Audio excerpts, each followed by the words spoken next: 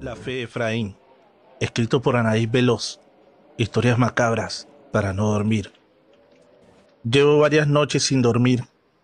Mi fe ha comenzado a quebrantarse y sé que no debería de ser así, ya que llevo más de 10 años siendo pastor. Pero esto se está saliendo de mis manos. ¿Por qué te cuento esto?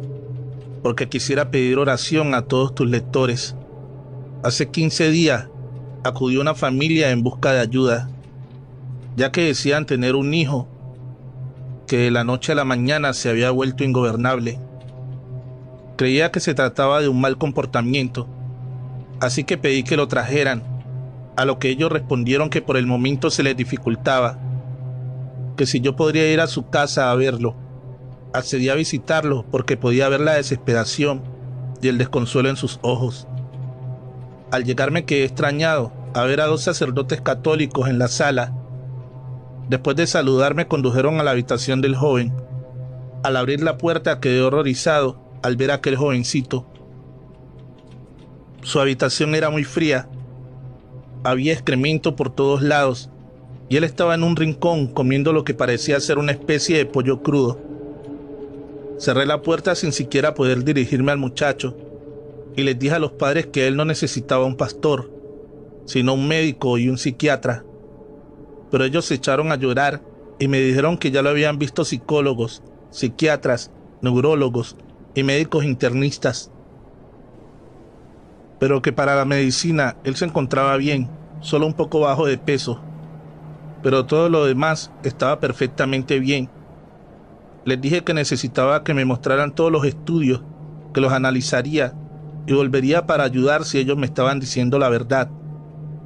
Me fui y le mostré todos esos papeles a mi esposa, que es médico, y ella a la vez se los mostró a algunos de sus colegas, y todos estuvieron de acuerdo en decir que era un joven saludable. Así que al día siguiente regresé a casa del joven acompañado de otro pastor. Antes de entrar, decidimos quedarnos a charlar un poco con los sacerdotes, que se veían bastante cansados. Fue entonces que el padre Gabriel comenzó a relatarnos que tenían tres días y tres noches orando por el alma del joven, pero ha sido muy difícil ya que no hemos podido contener al muchacho. Tienes que tener cuidado, hijo, me dijo al ver que estaba decidido a enfrentarlo. Asentí con la cabeza y fue al cuarto del joven. Arturo, soy el pastor Efraín, y hoy vengo en el nombre de Cristo a ayudarte. En ese momento el joven se contorsionó de una manera tan impresionante que parecía que no tenía columna vertebral. Demasiado tarde. Ahora es mío. Tú no tienes poder sobre este joven. Demonio, te ordeno en el nombre de Cristo que abandones este cuerpo. Comenzaron a temblar muebles y ventanas y él no paraba de reírse. En el nombre de Cristo te reprendo, demonio. No te temo. No supe cómo ni qué fue lo que me aventó fuera de la habitación.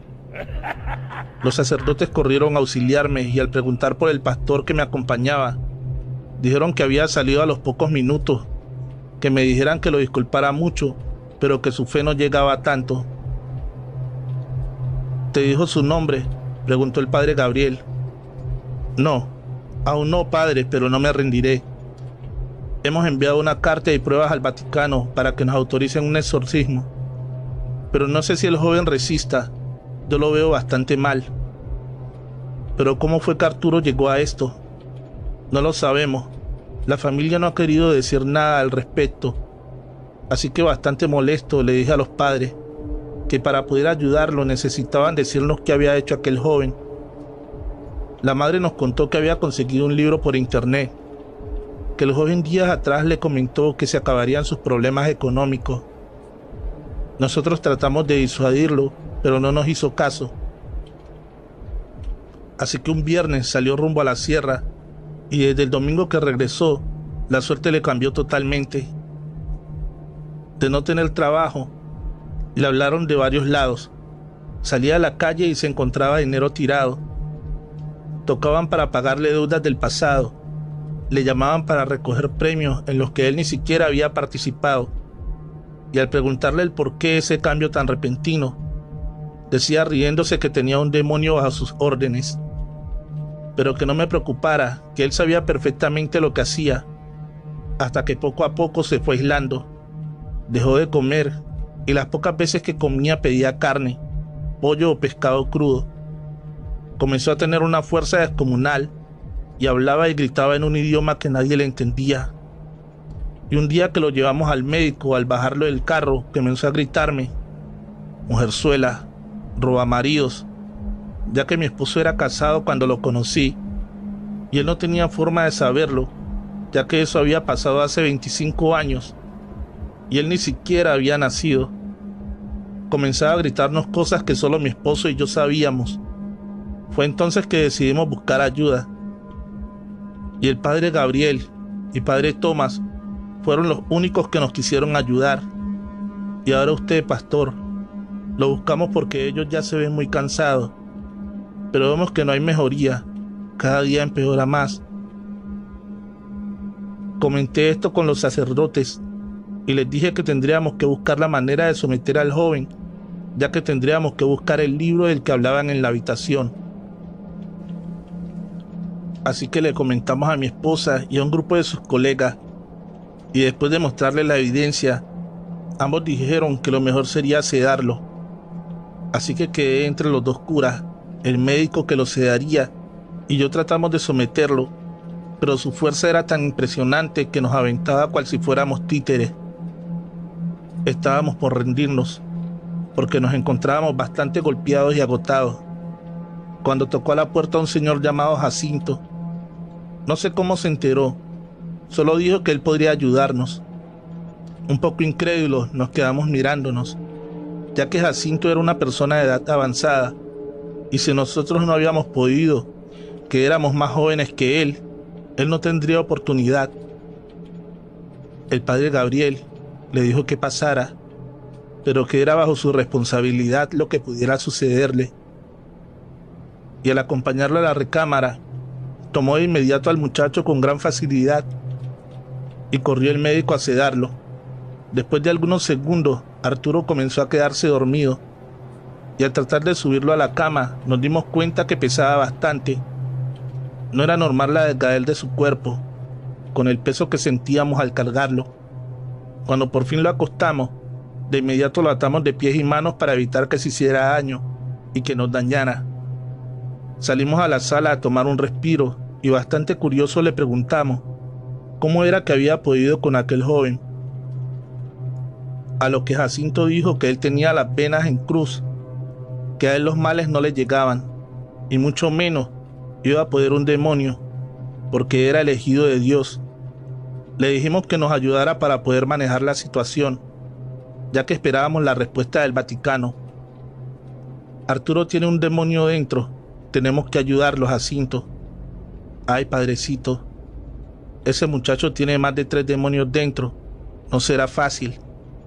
Nos interrumpieron los gritos que pegaba aquel desdichado muchacho. Entramos nuevamente y comenzamos a hacer oración. Cuando Jacinto grita, en el nombre de Tata Dios, te ordeno que me digas tu nombre. Asmodeo, dijo aquel demonio. Uno de los padres se palideció al escuchar aquel nombre ya según la Iglesia Católica, es uno de los demonios más poderosos. Pedí ayuda a otros pastores, pero su fe era débil y desistían con facilidad. Hemos grabado desde que llegué a casa de Arturo y ayer por la noche por fin pudimos saber el nombre del segundo demonio que tiene prisionero al joven. Y esto sucedió cuando al unirnos en oración, Jacinto preguntó, en el nombre de Tata Dios, te ordeno que me digas tu nombre. En ese momento comenzaron a volar libros por toda la habitación.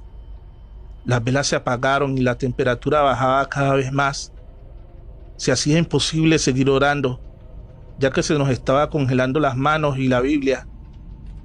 En ese momento Jacinto toma el agua bendita y comienza a rociarlo y le grita, en el nombre de Tata Dios, te ordeno que me digas tu nombre y esta vez se le unió el padre Gabriel. Aunque ande en el valle de la sombra de muerte, no temeré mal alguno, porque tú estás conmigo. Tu vara y tu callado me infundirán aliento. Así que te ordeno en el nombre de Cristo que me digas tu nombre. En ese momento, el joven se enderezó y dijo, soy Astarot, príncipe de los infiernos. Tú no eres Astarot, dijo el padre Gabriel, así que te ordeno que salgas de este cuerpo que es de Dios nuestro Señor. Cura estúpido, dijo burlándose aquel joven mientras le aventaba un libro directo a la cara. En ese momento el padre toma el libro y sale de la habitación y nosotros detrás de él. Y efectivamente al comenzar a hojear el libro, nos pudimos dar cuenta que ese joven había hecho varios rituales, rindiéndole tributo a varios demonios, y algunos de ellos eran Asmodeo, Leviatán y por último Astarot. Según se dice, que este último es capaz de corromper a aquel que anhele riqueza, ya que es mejor conocido como el tesoro del infierno. Por ahora no puedo contarte más. Les mantendré informados de lo que sucede con el joven. Solo les pido mucha oración, que es lo único que liberará el alma de este joven. Las posesiones son uno de los temas más delicados en el ámbito de lo paranormal. Si este caso es actualizado, le estaré trayendo de nuevo en una segunda parte. Recuerda suscribirte al canal y activar la campanita de notificaciones. Esto ayudará a que no te pierdas de las nuevas historias que estaremos subiendo al canal. La niña que nació poseída. Escrito por Lunita Azul, Laura B.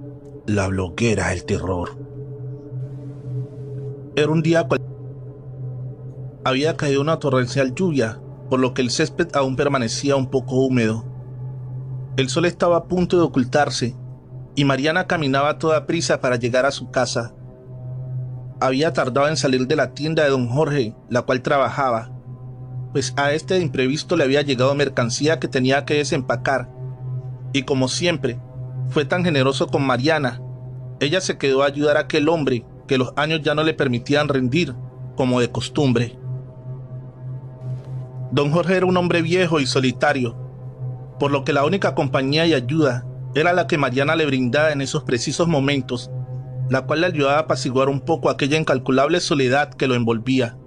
La noche ya estaba muy adentrada y lo anunciaba la despoblada zona que poco a poco iba quedándose sin ningún habitante por las calles. Mariana se despidió de don Jorge al ver el reloj que marcaba las 11 de la noche y de inmediato se apresuró para dirigirse a su casa. La zona a la cual pertenecía era una de las más tranquilas, aparentemente. Sin embargo, esa noche precisamente cambiaría para siempre los sueños y vida de la joven Mariana. Caminando por la vereda del parque, se notaba algo nerviosa. Masajeando sus manos apresuraba cada vez más el paso, mientras que en trayecto del camino no encontró a nadie quien pudiese acompañarla a llegar al otro lado, donde se encontraba su pobre casa Asustada por el silencio y el desolado lugar, apretó los ojos una sola vez, frotándose las manos con mucha ansiedad, las cuales se humedecían por el sudor que le provocaban sus sensaciones de miedo. Pronto sintió que alguien la golpeó en la cabeza y de inmediato perdió el equilibrio, cayendo al suelo mientras la vista poco a poco se le iba tornando de color oscuro. Confundida por lo sucedido, no sabía qué le había sucedido y llena de miedo, despertó en un maloliente lugar. Había ratas que corrían por los rincones. El dolor de su cabeza le impedía permanecer en equilibrio. Sin embargo, aunque pudiese moverse, no podía al ver sus manos atadas sobre un barandal de una vieja cama. Angustiada por lo que seguramente le esperaba, luchaba por liberar sus lastimadas manos de aquella cuerda, las cuales sangraban a cada movimiento que intentaba hacer para poder liberarse. Pronto el silencio se hizo presente y una voz se escuchó del otro lado de la vieja puerta.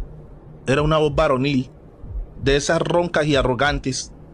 Aquel hombre discutía con otra mujer con lenguaje obsceno, mientras que Mariana se encogía para protegerse en el rincón de la vieja cama. El verdugo estaba detrás de la puerta. La chica podía sentir en su interior un terror que jamás había sentido en su vida y suplicando al Creador que le permitiera seguir con vida, se echó a llorar desconsolada. Minutos después la puerta se abrió lentamente y a través de ella entró un hombre con aspecto de vagabundo. Tenía sus ropas totalmente sucias y remendadas, que le daban una imagen mucho más formidable. Mariana al ver que aquel hombre entraba en la habitación, no se movió para nada. Tenía la cabeza agachada sobre sus pies, suplicando en silencio que no le hicieran ningún daño. De nada le sirvió rezar e implorar tanto, ya que en cuestión de segundos era sujetada de las piernas por ese horripilante hombre con aspecto de vagabundo. Atada aún de manos, le sangraban las muñecas por la fuerza con la que era sometida. Nada podía hacer en esos instantes en que la mente se le llenaba de tormentosos pensamientos a la vez. Abrían con fuerza sus piernas desgarrando sus ropas con violencia y en cuestión de segundos un dolor la sacudió cuando aquel horripilante hombre la penetró con total brusquedad. De nada le servía gritar, de nada. Podía ayudarle a luchar por defenderse. Aquel verdugo que tenía frente a ella era mucho más voluminoso y mucho más fuerte. El dolor a muerte inundó sus ojos de lágrimas. Sus gritos desgarradores solo traían como consecuencia golpes en la cara de aquella monstruosidad de hombre. Escupía sangre una y otra vez, al sentir el peor de los dolores que le desgarraban por dentro totalmente. Pero entre más clamaba piedad, mucho más el verdugo disfrutaba del dolor consciente de aquella pobre joven. El olor pestilente que inundaba el lugar era totalmente insoportable. El poco aire que entraba le ayudaba a respirar para soportar todo ese dolor que en esos momentos le hacía mostrar lo cruel y desgarradora que podía ser la muerte. Pero había algo más, algo que iba más allá de la realidad de sus mismos ojos y que quizás no lo aceptaba por lo increíble que era. Aquella bestia de hombre tenía algo que no era normal. Sus ojos brillaban de manera demoníaca en el momento que posaba sobre Mariana de manera brutal. Su fétido aliento escupida salió a chorros mientras disfrutaba penetrar bruscamente a Mariana, quien luchaba porque al fin se detuviera, pero era inútil. Le tomaba el rostro para morderle los labios, dejándole sangre a su paso, y el asqueroso hombre lamía cada una de las heridas que dejaba a su paso de la boca de la chica. Golpes sacudían a la joven en la cara, provocando moretones acompañados por chorros de sangre que tornaban la blanca piel de Mariana de color rojo. La chica escupía sangre una y otra vez, y salía uno que otro diente disparado de su lastimada boca. Sus piernas eran arañadas mientras aquella bestia disfrutaba de su propio placer. A Mariana no le quedaba más fuerzas para lograr defenderse de tan monstruoso ser. En realidad, él era mucho más fuerte, más alto más robusto. ¿Y qué iba a poder hacer el frágil cuerpo de la joven? Solamente esperar la muerte. Pronto el hombre bestial no le bastó la satisfacción que ya había conseguido, sino que tomó de los cabellos a la joven y miró su rostro completamente hinchado.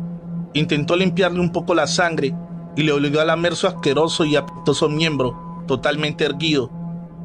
Mariana estaba a punto de vomitar del asco, pero no podía moverse ni negarse a hacer lo que su verdugo le imponía Pasando unas horas, la joven al fin cayó al suelo, sin conocimiento, mientras el viento soplaba violentamente, tratando de entrar por las rendijas de aquellas viejas ventanas, las cuales provocaban chirridos en las bisagras.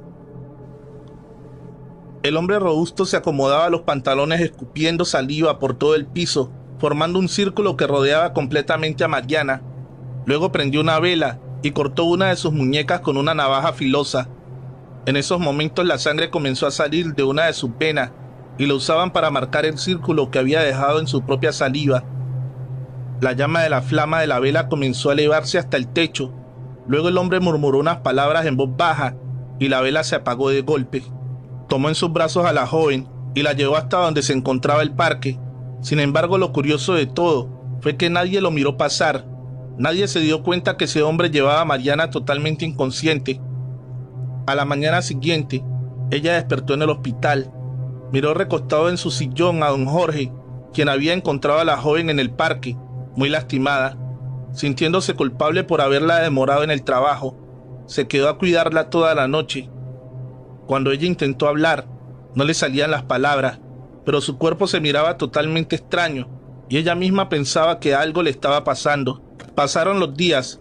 Mariana se iba recuperando por completo hizo la denuncia correspondiente pero no encontraron al hombre que la había violado.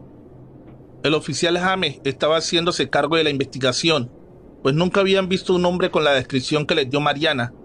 Sin embargo, ya se atendía la orden de búsqueda por todos los rincones de la ciudad, y en aquella vieja casa no había absolutamente nadie. ¿Alguna noticia oficial acerca del caso de Mariana? Ninguna, jefe. Parece que estamos buscando a alguien que no dejó huellas. Pues le ruego que se dé prisa, ya que no queremos una tragedia más con otra jovencita. Ah, y por favor le encargo vigilancia al menos con dos patrullas, que den sus rondas cada dos horas.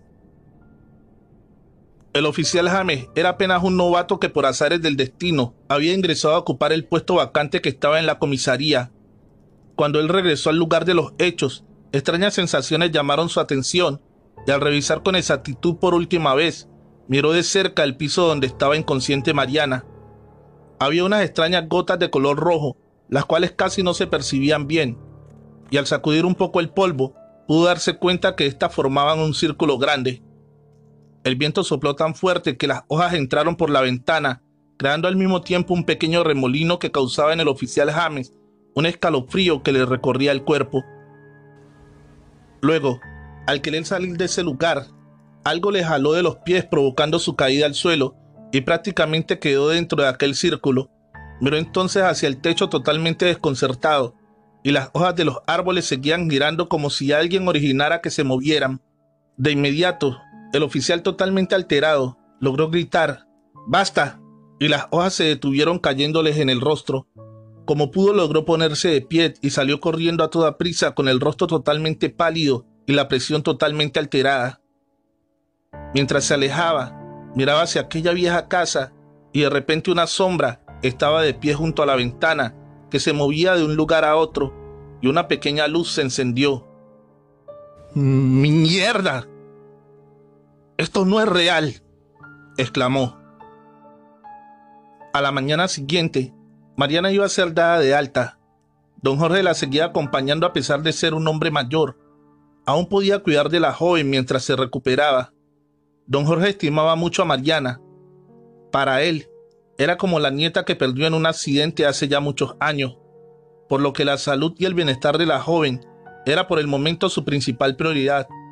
Luego el doctor que la atendía interrumpió el sueño de la joven para darle una terrible noticia. Buenos días, doctor. ¿Sucede algo? Lamento mucho lo que te voy a decir, pero es necesario que lo sepas en este momento. ¿Qué sucede? Me está asustando. Mariana, con los estudios que hemos realizado, su sangre estaba alterada, por lo que comprobamos nuestras sospechas y efectivamente usted está embarazada. No puede ser. La joven se alteró. ¿Embarazada de ese cerdo? No. Lo sentimos en verdad, pero en estos momentos usted ya tiene otra vida creciendo dentro de su vientre. La noticia dejó atónita a Mariana, pues no lo podía creer y al momento su llanto fue tan desconsolado que quería morirse. ¿Y cómo iba a sentirse así? Si sus sueños habían sido destruidos junto con su juventud por ese animal, el cual la había violado, y lo peor aún fue haber dejado algo que lo iba a recordar para siempre, un hijo. Pasó el tiempo. La joven salió del hospital y se recuperó por completo de las heridas. Sin embargo, por un instante pensó en abortar aquello que tenía en su vientre, pero conforme fue pasando el tiempo, la criatura comenzó a crecer y a moverse dentro de ella, lo cual le causó sensibilidad y al final decidió tener al bebé. Don Jorge le pidió que se mudara a su casa y le hiciera compañía, pues estaba muy solo y le había causado alegría saber que Mariana iba a ser madre. Realmente era como un abuelo para ella sintiéndose feliz, porque al fin tenía un cariño sincero en la vida del anciano. Sin embargo, pasó lo peor que pudo imaginar. Don Jorge cayó enfermo por un paro respiratorio y después de hacer todo lo humanamente posible, él falleció. Mariana desconsolada se sentía muy triste, pues la única familia que tenía ya no estaba. Ahora solo le quedaba su bebé en quien aferrarse. Permaneció viviendo en la casa del viejito y se encargaba de la tienda. Tenía el conocimiento de que don Jorge no tenía algún familiar, sin embargo, todo cambió cuando se presentaron un hombre y una mujer en su casa exigiendo las propiedades del anciano. Ambos mostraron identificaciones que lo relacionaban como sobrinos de don Jorge, y desafortunadamente las autoridades le cedieron la casa donde estaba viviendo Mariana junto con la tienda. Ella ahora había quedado sola completamente en la calle. No tenía dinero ni un lugar a donde ir. Y lo peor de todo es que su bebé estaba a punto de nacer. Llorando se refugió en la iglesia, donde cuando entró, las llamas de los cirios comenzaron a menearse como si el viento las sacudiera, y las palomas que anidaban en el techo salieron huyendo despavoridas. Mariana entró a sentarse en una banca, acomodó su caja que contenía poca ropa y algunas monedas que le quedaban en el bolsillo. Le preguntó a la imagen divina por qué ella tenía que sufrir de esa manera y por qué le había quitado la protección de don Jorge, si era como un abuelo para ella. Llorando pedía respuestas a todas esas imágenes que se encontraban en la iglesia, hasta que de momento una voz le dijo, El Señor siempre tiene un destino para nosotros, y nunca debemos cuestionar su voluntad. Mariana volteó la mirada y era el padre de la iglesia quien se acercaba a ella. Soy muy desdichada, padrecito. La vida es así, pero son lesiones que nos hacen volvernos mucho más fuertes. Cuando el padre intentó tocar la mano de la joven y darle consuelo, un pequeño temblor sacudió el interior de la iglesia y las velas de la iglesia se cayeron junto con otras imágenes santas. El padre petrificado por lo que estaba pasando, Solo se acercó para proteger a Mariana del terrible temblor, pero en esos momentos sucedió que en el intento por protegerla, el cuerpo de Mariana destelló una fuerza que lanzó al padre al suelo. Padre, ¿está usted bien? No te preocupes, hija. Estoy bien. Creo que por fin ya paró el temblor. Pero tú te encuentras bien. Escuché que estabas llorando. Así es, padre. Me encuentro en la desdicha. Se murió la única persona que tenía y ahora no tengo a dónde ir. Tampoco me queda dinero y no consigo un trabajo en mi estado. Recuerda suscribirte y activar la campanita de notificaciones. El padre Juan, al ver a la joven sola y desamparada, le ofreció acogida en el descanso de la iglesia. La llevó a un pequeño cuarto donde se iba a quedar y le ofreció algo de comer. Mariana se veía tan hambrienta que no dudó en aprovechar el plato de arroz que el padre le ofreció a modo de caridad. Sin embargo, nunca se imaginó que sería el comienzo de su peor pesadilla.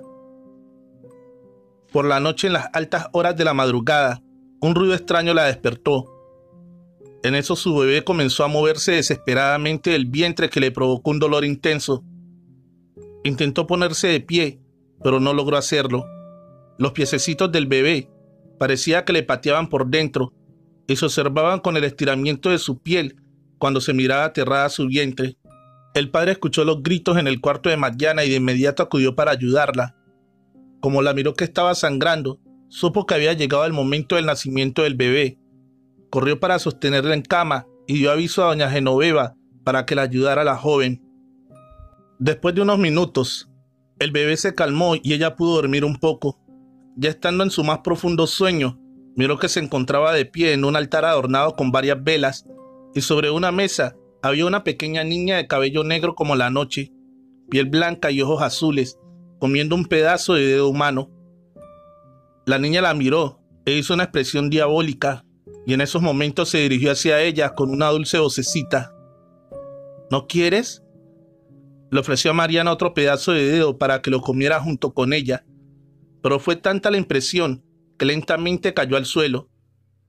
La joven despertó sudando de ese terrible sueño, y en esos precisos momentos su vientre se comenzó a contraer, avisando la hora del parto. El parto estaba muy adelantado, la cabecita del niño se asomaba a través de la madre, todo era una conmoción.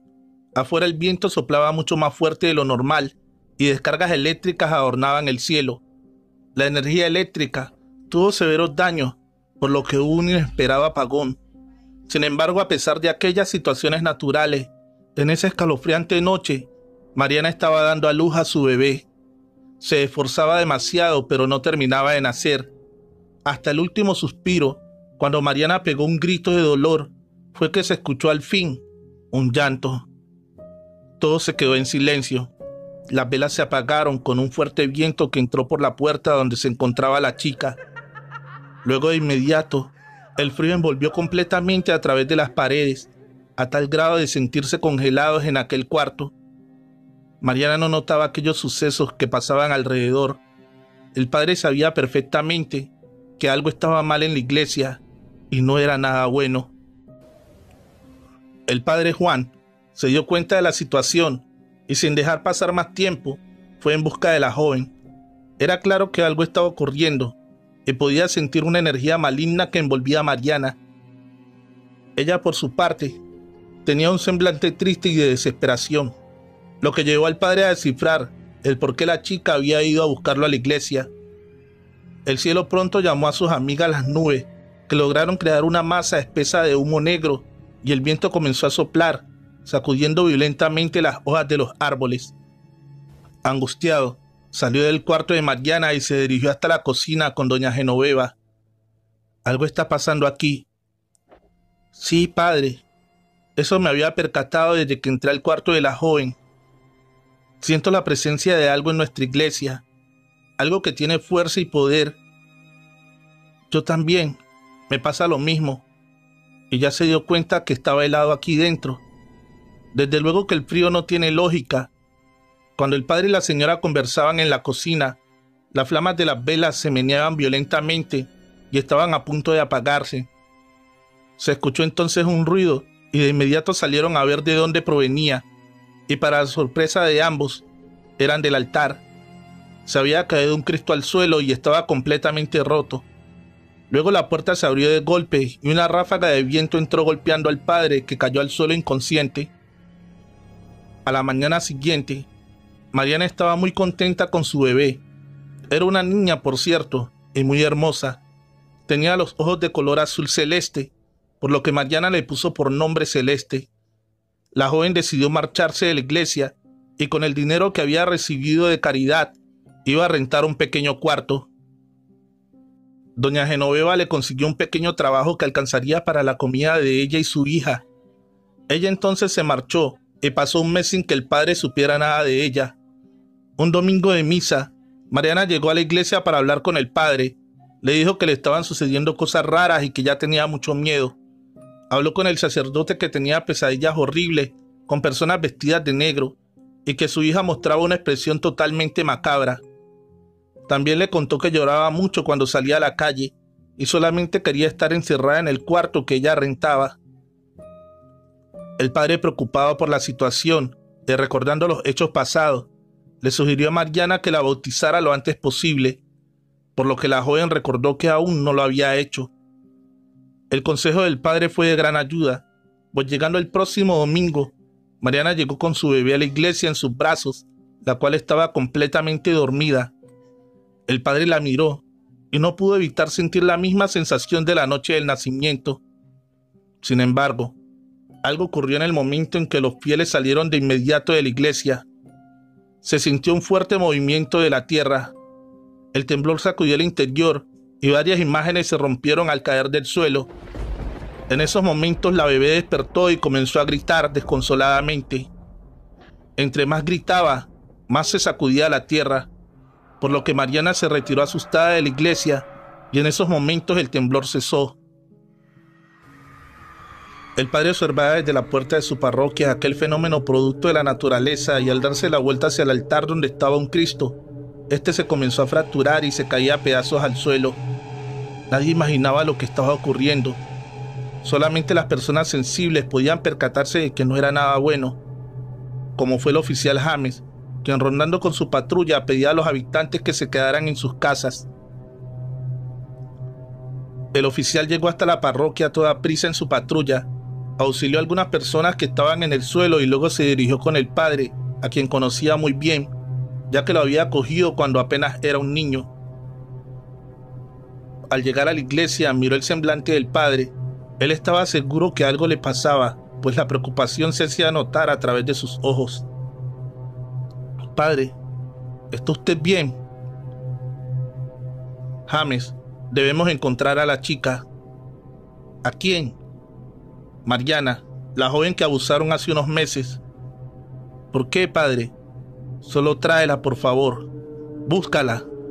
James no comprendía por qué el padre con tanta desesperación quería a la joven en la parroquia. pero no dudó en su palabra y fue a buscar a la muchacha.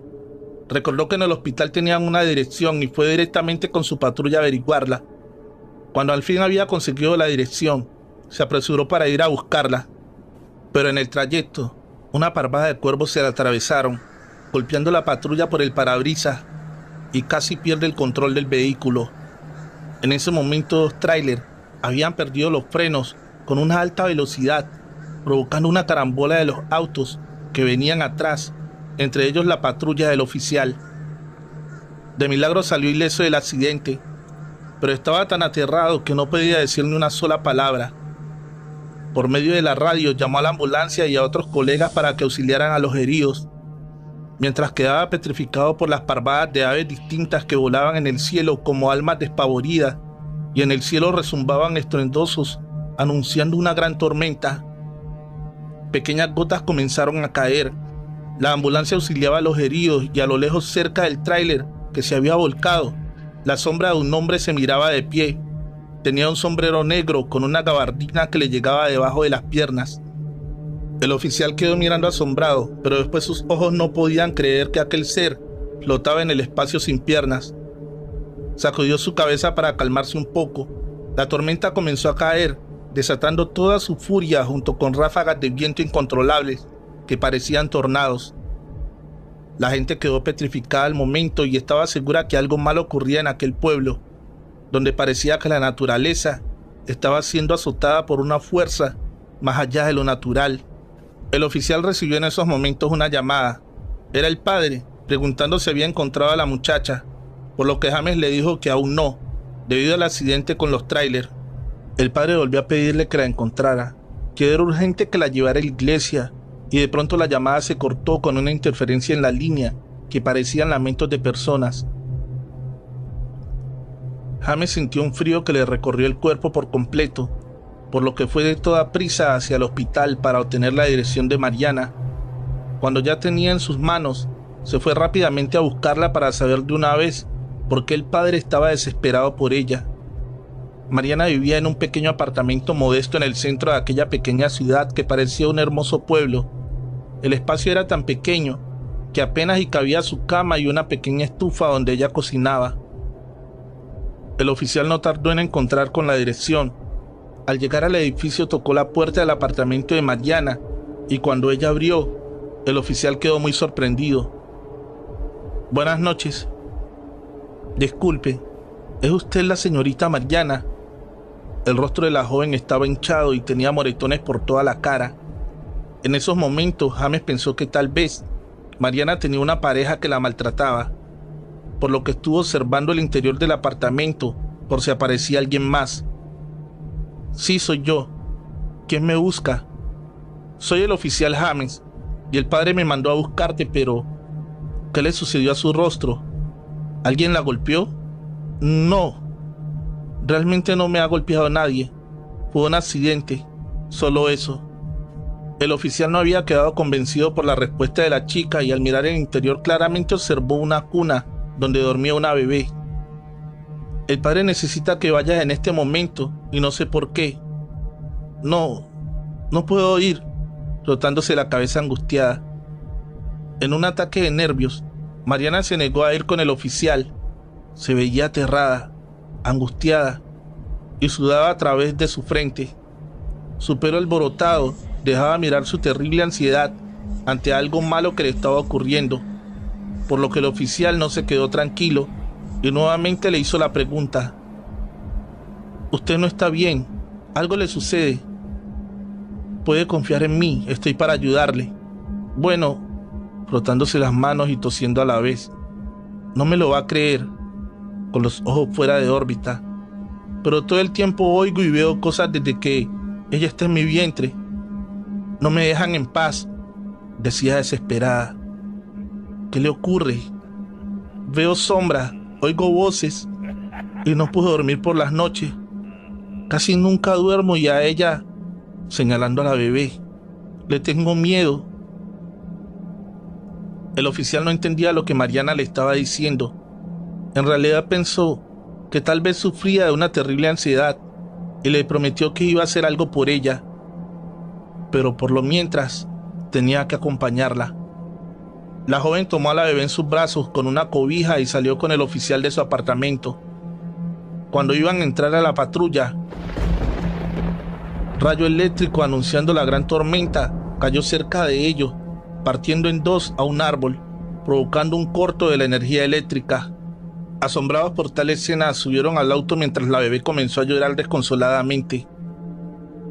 Mariana intentaba calmarla con el biberón, pero era imposible y mientras el llanto era más intenso, los rayos eléctricos caían por todas partes como si fuera una lluvia de fuego. Pronto llegaron a la iglesia. La niña comenzó a incrementar su llanto mientras la tormenta comenzó a azotar nuevamente con toda su fuerza. Los vientos violentos parecidos a un huracán llegaban a arrancar las raíces de los árboles y la gente corría a refugiarse a sus casas. Al intentar entrar por la puerta, Mariana se quedó mirando fijamente hacia el altar y no se movía para nada. Tenía la mirada perdida y los ojos fuera de órbita. El oficial la tomó del brazo para preguntarle qué le sucedía, pero algo lo golpeó y lanzó al suelo. El padre miró a la joven de pie en la puerta y corrió con una bandeja de agua bendita. Mariana, qué bueno que viniste.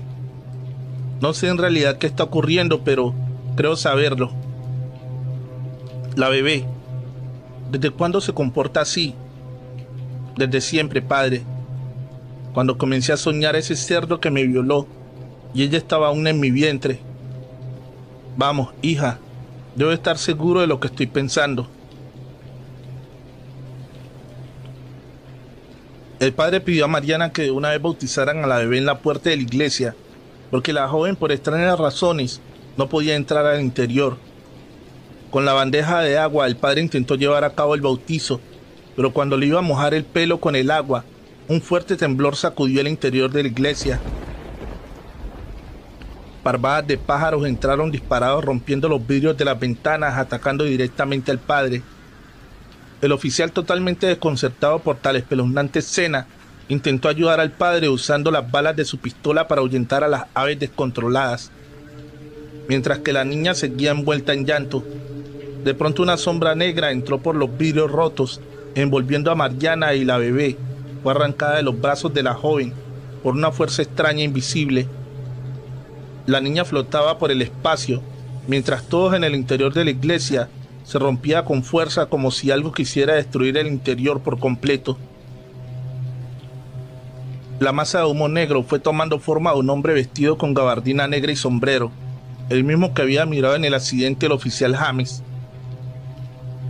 La bebé flotando en el espacio, caminaba al mismo tiempo con los ojos brillantes de color púrpura y se dirigió al hombre de sombrero negro. Una pequeña carcajada salió de la boca de la niña y cuando el hombre la tenía al fin entre sus brazos, un fuerte viento con hojas de los árboles los envolvió a los dos, desapareciendo en el espacio. El oficial James estaba petrificado ante tan monstruosa escena y Mariana cayó al suelo perdiendo totalmente el conocimiento. El padre estaba completamente herido por las parvadas de pájaro y minutos después llegó la ambulancia para llevarlos al hospital. El oficial no sabía qué había pasado en realidad. Mariana al despertar perdió la razón completamente, por lo que fue internada en un hospital psiquiátrico y James esperó a que el padre le diera una explicación al respecto. Padre, no sé si lo que vi realmente fue real o me estoy volviendo loco pero es que aún no puedo creer lo que mis ojos presenciaron. Debe haber una explicación de lo que pasó con la bebé. Siéntate un rato, James, y escucha bien lo que te voy a contar. La bebé de Mariana fue concebida en una violación por un hombre extraño que jamás dejó un rastro para ser encontrado. Cuando ella quedó embarazada, me contaba que veía y oía cosas y escuchaba el llanto de su bebé. Esa noche que nació, sucedieron cosas escalofriantes en la parroquia, y esa mirada de la niña reflejaba un mal que traía oculto. Creo yo que la niña nació poseída por un ser maligno que se impregnó en ella desde su concepción, y el mismo demonio vino a reclamar sus derechos por ella. El mismo diablo se la llevó, pero es una bebé. No podemos dejar que eso suceda. Tenemos que hacer algo. Realmente no se puede hacer nada. Esa niña se perdió en el momento en el que el demonio la eligió para ser poseída. Y ni tú, ni nadie, puede ya hacer algo por ella. Se ha ido. Aquella niña había sido elegida por un demonio desde su concepción para ser poseída. Todo ocurrió cuando Mariana fue violada bruscamente y esa noche el mismo demonio había ido a encontrarse con ella. Ya nada podía hacer el oficial ni el padre. Fue una situación que no tenía remedio y jamás se iba a poder recuperar a la pequeña que a partir de esa noche pasó a vivir por la eternidad en el mundo de las tinieblas. Mientras tanto, Mariana quedó internada en un hospital y jura que por las noches escucha las risas de su pequeña, quien la visita para golpearla, como lo hacía antes de que todo ocurriera. Recuerda que la mejor forma de apoyar este canal es dando un like y un bonito comentario. Comparte con un amigo para ayudarnos a crecer. El espantapájaros, escrito por Yemicha, diosa de la oscuridad. Mi tía tenía una granja a las afueras de San Antonio, Texas. Nos gustaba ir allá todas las veces que podíamos. Iba con mi hermana Sandy y mis padres. Disfrutábamos del clima y sobre todo de la compañía de mis primos y de algunos amigos que había hecho por allá. Era un gusto llegar y ver tupidos todos los maizales, ir a la cosecha de maíz. Cada año se realizaba en el pueblo por tradición. El otoño llenaba con sus hojas de colores amarillos, verdes y ocres todo el paisaje en cada granja vecinal, ver las clásicas calabazas muy típicas de este tiempo acomodadas en las pacas de paja y adornando las casas y cosechas. El camino por donde se viera era verde y naranja. Las casitas con su granero estaban separadas unas de otras por unos metros, pero cuando eran las festividades todas estaban decoradas y las mujeres con sus vestidos largos y botas o pantalones de mezclilla como los señores con sus típicas camisas a cuadros y entre ellos mis tíos. Ya casi llegamos. Me encantan estas carreteras poco transitadas y tranquilas. Serán unas vacaciones inolvidables y sé que me voy a divertir mucho esta vez. Cuando llegamos a la granja, mis tíos ya nos esperaban con una sonrisa de oreja a oreja, parados en la puerta con mis tres primos, Karen, Douglas y Michelle salieron a nuestro encuentro y nos ayudaron a bajar las maletas muy apresurados para que entráramos a cenar con ellos y luego descansar después del viaje. En la mesa platicamos de lo que sucedía en ambas familias y ponernos al día con las novedades. Me encantaban las costillas asadas que preparaba mi tía con puré de papa y esos deliciosos elotes amarillos y dulces que eran la cosecha de esa temporada. Terminando la cena, nos instalamos en las habitaciones de mis primos como cada vez que los visitábamos. Mi hermana con mi prima Karen, que de seguro se pasarían la noche platicando cosas de chicas, y yo con mis dos primos planeábamos lo que haríamos al otro día. Quería aprovechar mi estancia para disfrutar al máximo el viaje. Por la mañana después del desayuno salí con mis primos al centro del pueblo. Dimos un paseo por los alrededores y fuimos a buscar a los amigos de mis primos, que ya con el paso del tiempo eran amigos míos también. Aproveché para ver qué tanto había cambiado todo por allí. Pasamos por las tiendas, un cine pequeño, ya tenían locales nuevos y ya nuestros amigos Danny, Derek y Tommy estaban en una tienda nueva que vendía cómic. Allí nos entretuvimos un buen rato discutiendo sobre quién es el mejor superhéroe Salimos de ahí con algunos cómics y nos fuimos a platicar al granero donde nos gusta recostarnos en las pacas de paja mientras planeamos nuestras próximas aventuras. Era una tarde soleada y quisimos dar una vuelta para ver cómo iban quedando todos los preparativos para la fiesta de la cosecha, que sería en una semana. Era divertido ver a todos los granjeros buscando sus mejores calabazas, porque era el concurso anual y participaban las más grandes, así como los mejores elotes todos se lucían con sus respectivas cosechas. Caminando por las casas y maizales se nos pasó el tiempo, viendo casi todas hasta llegar a una que estaba al final de todas. Esta casa parecía deshabitada. Estaba maltratada en su pintura y se veía que tenía bastante deterioro. Y claro, curiosos como los adolescentes que somos, no dudamos en ir a echar un vistazo, no sin antes preguntarnos entre bromas y pequeños empujones ¿quién se atreve a ir a asomarse por las ventanas a ver qué hay? Mis primos reían y decían que yo primero. Nuestros amigos también. Por fin decidimos por medio de la suerte con una moneda. ¿Quién iría? Nos tocó a Michael y a mí. Lentamente mientras los demás se quedaban parados a cierta distancia, Michael y yo, casi hurtadillas, nos dirigimos a la escalera para subir a la ventana, que está junto a la puerta. No se veía nada. Las cortinas, aunque delgadas, no permitían ver mucho. Los vidrios estaban demasiado empolvados para permitir ver bien.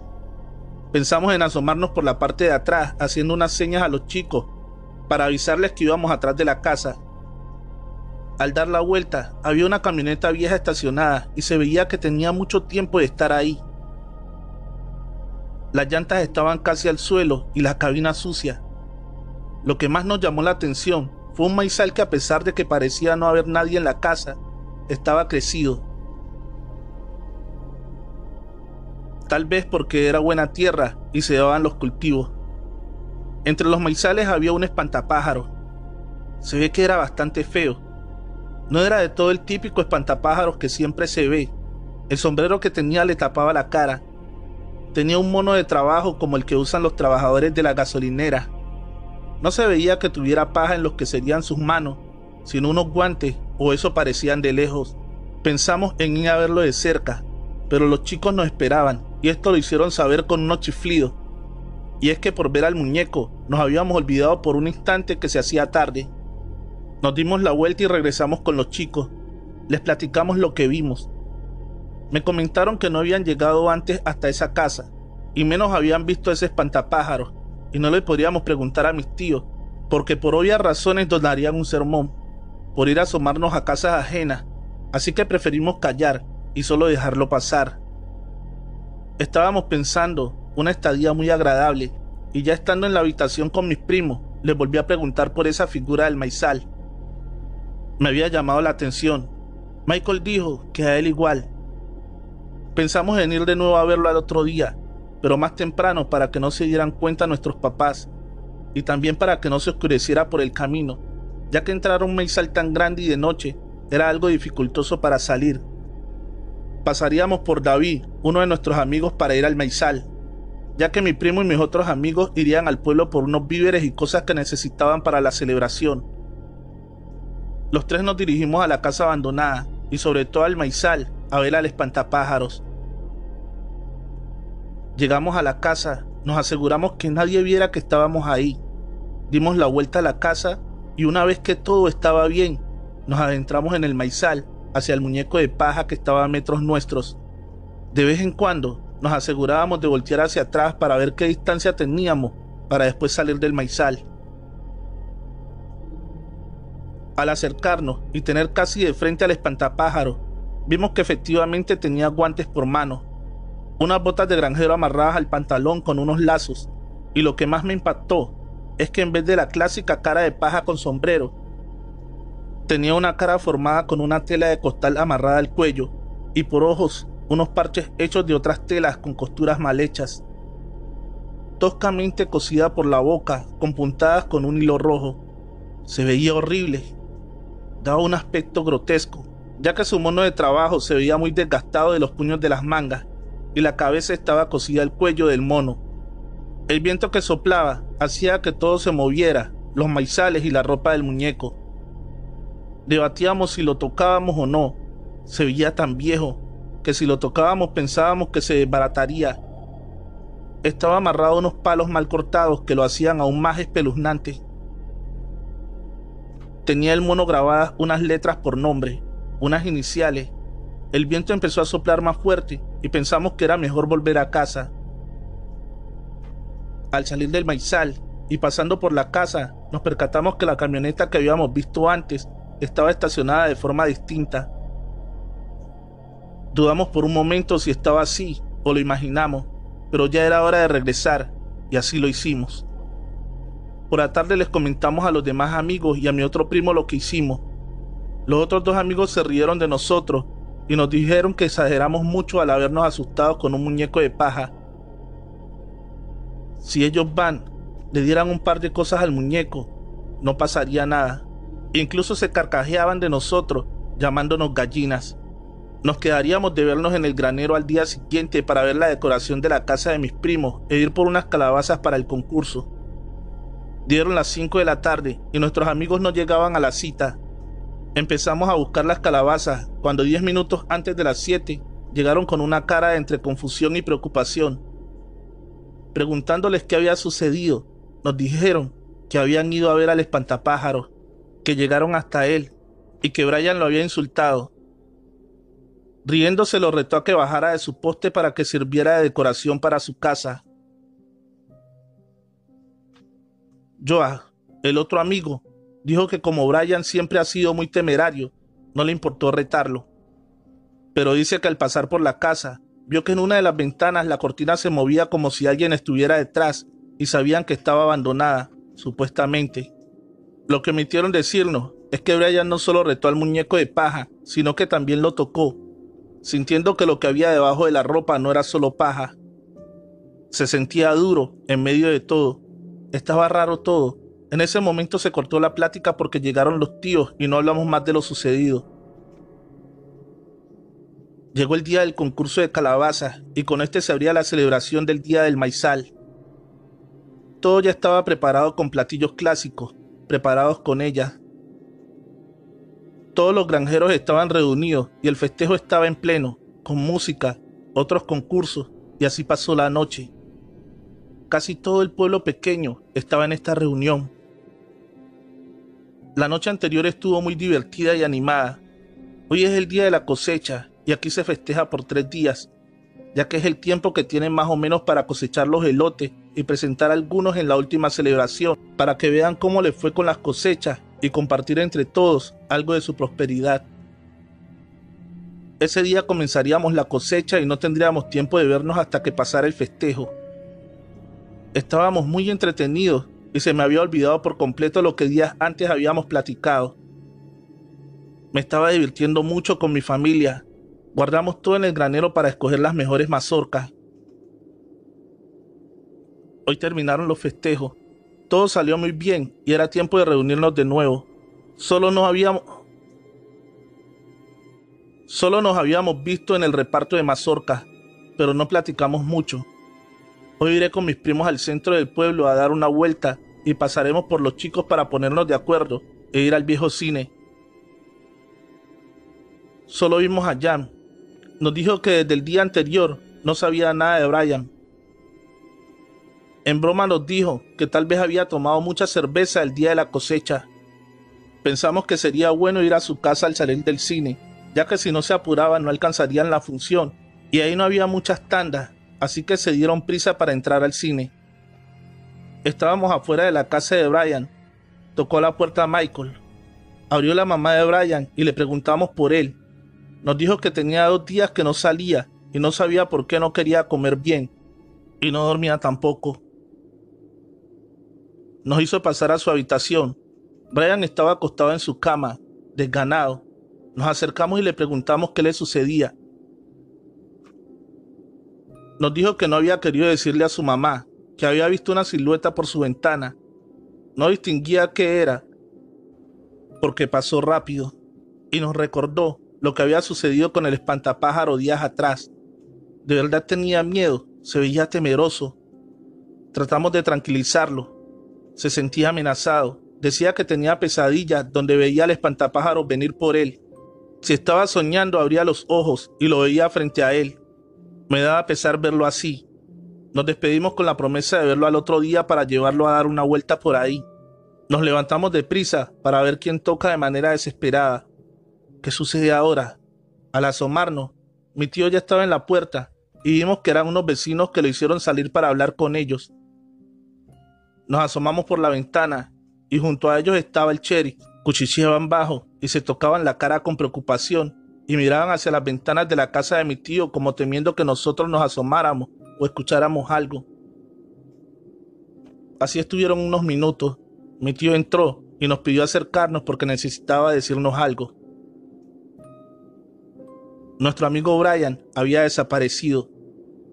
Su mamá fue a llevarle la cena y no estaba en su habitación. Tenían que salir a buscarlo todos los vecinos.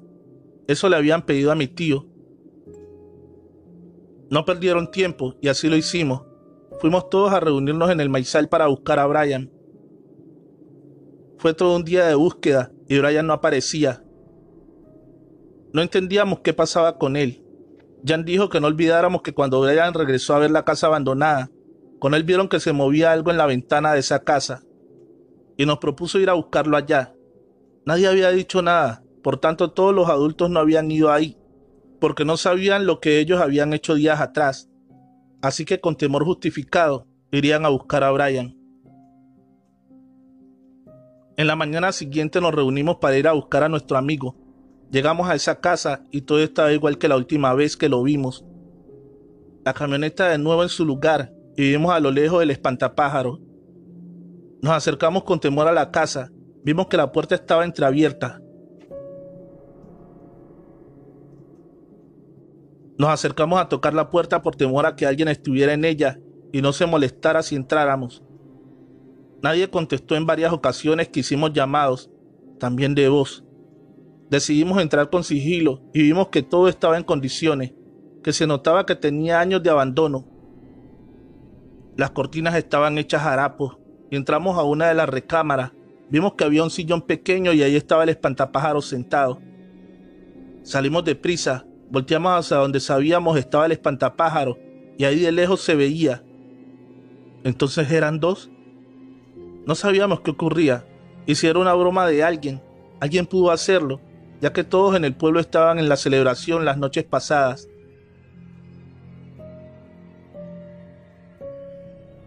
Seguimos de largo hacia el maizal. Queríamos saber qué pasaba con ese otro espantapájaro. Llegamos y lo que vimos nos hizo temblar y correr a toda velocidad hacia la granja y contar lo que habíamos visto. Llegamos blancos de la impresión. Pedimos hablar con nuestros padres y tíos. Nuestros amigos hicieron lo mismo. Nos llevaron a las oficinas del Cherry para platicarle todo lo que habíamos hecho días atrás. Las llamadas de atención por nuestro comportamiento vendrían después. Lo primero era que fueran al maizal y a la casa abandonada. Lo que después nos enteraríamos era algo siniestro. Cuando llegaron a la casa, vieron el espantapájaros y lo sacaron de ahí. Después fueron al maizal para bajar al espantapájaros, o mejor dicho, el cuerpo que estaba en forma de espantapájaros. Porque cuando llegaron, vieron que el hombre de paja no tenía manos de paja ni de tela, eran humanas y estaba vestido justo como el que habíamos visto antes en el mismo lugar. Lo bajaron y lo llevaron a examinar. Al quitarle la bolsa de tela que tenía en la cara, vieron con horror que era Brian. Estaba sin ojos y con la boca cosida. Al desnudarlo con el forense, vieron que tenía una abertura desde el cuello hasta el vientre, con costuras mal hechas, toscas, y adentro estaba relleno de paja, sin órgano alguno. Era horrible. Esto los llevó a revisar el otro espantapájaros que encontraron en la casa. Al hacer lo mismo, se dieron cuenta que también era un cadáver. Nunca hubo un muñeco de paja, al menos no por fuera. Ahora la tarea era ver a quién le pertenecía este cadáver. Nosotros nos regresamos a la casa después de tan desafortunado suceso. Teníamos en mente que sería muy difícil que regresáramos ahí. Extrañaríamos a mis tíos, pero ya no era seguro ir. Han pasado 10 años y jamás volvimos ahí. Mis tíos al tiempo de aquello sucedido también se mudaron y vendieron la granja. Y los veíamos de vez en cuando. El año pasado vi a mis primos en una reunión dicembrina. En esa reunión salió el tema de lo que pasó en la granja. Lo último que supieron fue que el cuerpo del primer espantapájaro era el dueño de esa casa, el señor Kendall. Vivía solo en la casa. Era un hombre egoísta que nunca quiso ser parte de nada le tenía miedo porque siempre demostró su maldad. Siempre mencionaba que no se iría de allí, que eran sus tierras, que sus cosechas eran las mejores y así sería siempre. Su maldad no tenía límite, por lo cual un día decidió hacer un pacto con el demonio y al vender su alma a este le convirtió en espantapájaros para que siempre cuidara de sus cosechas y nadie pudiera jamás entrar allí. No entendía cómo supieron todo esto. Pues bien, al investigar de quién era el cuerpo, buscaron más información en su casa y ahí encontraron un diario que ocultaba en el horno de su estufa. se encontró más información de la que pensarían. Lo más perturbador fue que días después supieron que la morgue donde tenían este cuerpo había desaparecido y por más que buscaron no lo volvieron a ver. Dicen que a veces por el tiempo de cosechas en ese lugar se desaparecen algunas personas, que todo sucede después de la celebración y lo que ya no comentaron es que siempre está un espantapájaro, no se sabe si es el mismo, cuidando las cosechas que se siguen dando a pesar de que no hay quien las cultive, ya que la casa que está ahí la derrumbaron para no verla jamás. Esta historia la cuentan una y otra vez cada año en otoño. Tú te atreves a ver si sigue ahí el espantapájaros